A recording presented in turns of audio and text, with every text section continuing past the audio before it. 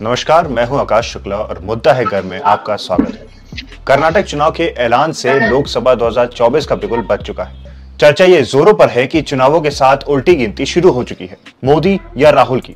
वर्ष 1975 में इलाहाबाद उच्च न्यायालय ने तत्कालीन प्रधानमंत्री इंदिरा गांधी की संसद की सदस्यता समाप्त की थी। राजनीतिक हलकों में ऐसा कहा जाता है कि इस फैसले के बाद ही देश में आपातकाल लागू करने का इंदिरा गांधी ने मन बना लिया था। उसके बाद बड़े राजनीतिक घटनाक्रम हुए। आज के समय पर राहुल गांधी की सदस्यता को लोकसभा सचिवालय ने खत्म किया है। लेकिन राहुल गांधी के मामले में सत्तारूढ़ भारतीय जनता पार्टी साफ़ तौर पर अब दबाव में दिखने लगी है। जिस तरह से सरकार के सभी मंत्री और बड़े नेता बयान दे रहे हैं, उससे यह संकेत साफ़ तौर पर जनता के बीच जा रहा है कि सरकार अडानी मामले में दबाव में आ चुकी है।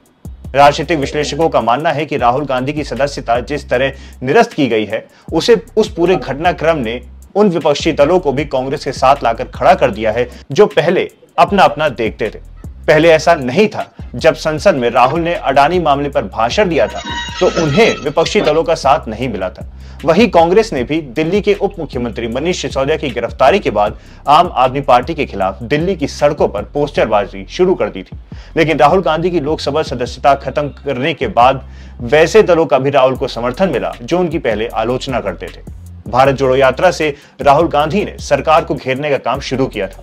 फिर जिस तरह से वो सदन में बोलते रहे और अडानी को लेकर जिस तरह से सरकार को घेर रहे थे, उससे सत्तारूढ़ दल की असहजता बढ़ती जा रही थी। राहुल के बयान के बाद इसके संकेत मिलने लगे कि वो कोई भी कुर्बानी देने का मन बना चुके हैं। जेल जाने का भी वो मन बना चुके हैं। इससे कांग्रेस को फ़ायदा ही होता दिख रहा है। कांग्रेस के लिए सिर्फ़ यही एक विकल्प था, अपने अस्तित्व को बचाने का। और वो विकल्प भाजपा ने उसे थाली में परोस कर दे दिया है।